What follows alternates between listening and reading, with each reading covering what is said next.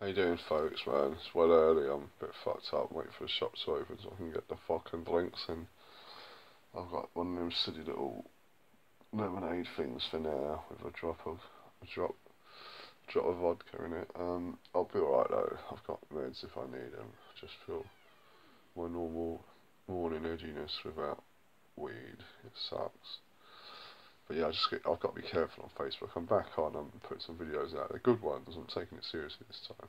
Still don't get it though, because I get phoned up for something really petty. And I swear, yesterday I went straight into this bird's profile, and it was cuck in ass.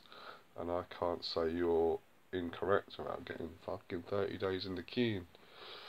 Having said that, oh mate, it's annoying. Some bird on there, you know, these hustlers who look about 21 are out like they're adult women and they've seen it all, do you know what I mean? They're barely out of fucking diapers. But they're legal. That's the main point, apparently. 21 at least, or she's probably about 24, 25. But pissed me off, she goes saying, like, just one of these things where everyone can see it. I hate when I smile at someone and they don't smile back. And I was like, well, being a woman, mate, because you cunts never make the first move. I shouldn't you got to worry about that, mate.